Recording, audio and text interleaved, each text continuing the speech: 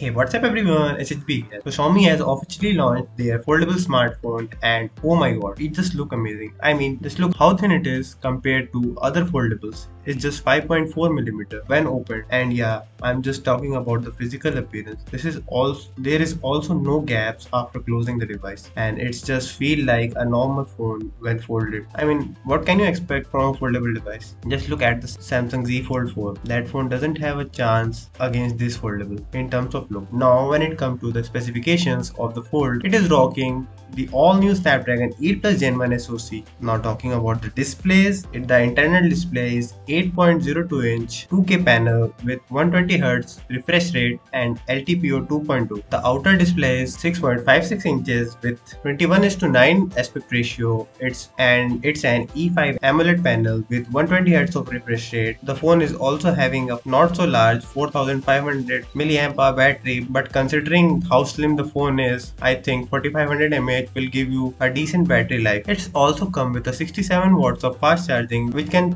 charge this phone pretty fast. This is a great foldable smartphone and it can give a tough competition to Samsung new Fold 4 but sadly it will not be available outside China for now. What do you think? Should Xiaomi bring this, this foldable in the global market?